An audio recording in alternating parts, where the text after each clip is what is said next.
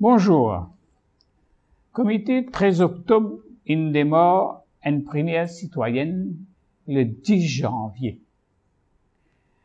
Et moi, en tant que président volontaire comité des sages, moi, j'ai le plaisir de partager quelques idées en ce qui concerne le mouvement qui découle de sa comité 13 octobre.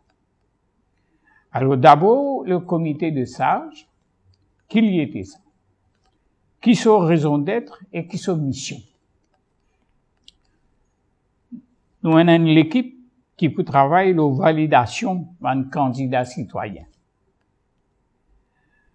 Nous aussi un endroit de regard en tant que comité des sages, le programme qui vise un les citoyens au centre.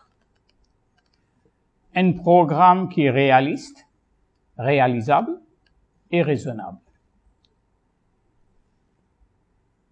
Regarde ban action des ban membres selon la philosophie du mouvement. Et ensuite, conseil en général le mouvement vers réalisation programme. Alors, chers citoyennes et chers citoyens de la République de Maurice, comme citoyennes et citoyens, nous tous ayons nos droits et nos privilèges. Ce qui fait nous, qui nous ayons, ce qui nous appelle le suffrage universel, qui est un droit sacré qui permet nous choisir un du monde pour représenter nous dans l'équipe qui peut gouverner nous. se nou ki vote sa di moun la pou ki li seri nou en fwa elu. Sa ki nou bliye, ek sa ki sa di moun ki fin elu la bliye, se ki nou ki fin fer li vin se ki li ete, nou ki fin vote li, e ki li bliye fin vote li. Avec système qui nous est une fois élu, il est capable de faire ce qu'il a envie, ce qu'il voulait, et nous, nous laissons faire. Et que l'IPNA pour rendre compte. Il prend liberté, et vient baron, prince, et même les rois, et nous restons tranquilles. Nous les faisons réfléchir que c'est nous qui faisons vote les besoins rendent compte ce qu'il peut faire, ce qui nous appelle dans le jargon, la transparence. Et qu'il vient faire ce qu'il fin promettre avant qu'il vote. Ce qui nous appelle la bonne gouvernance.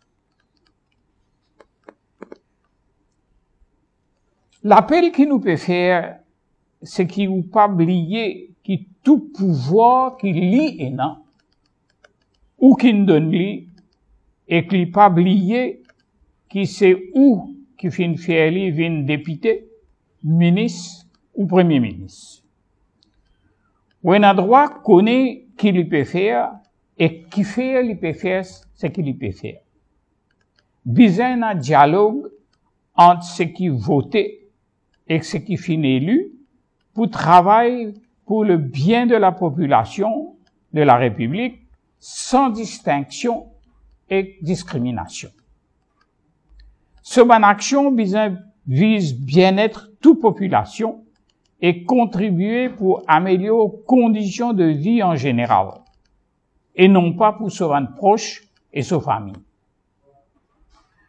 Avec nous l'attitude laisser aller, nous établir une culture un côté ce qui votait et que l'autre côté, c'est qui élu.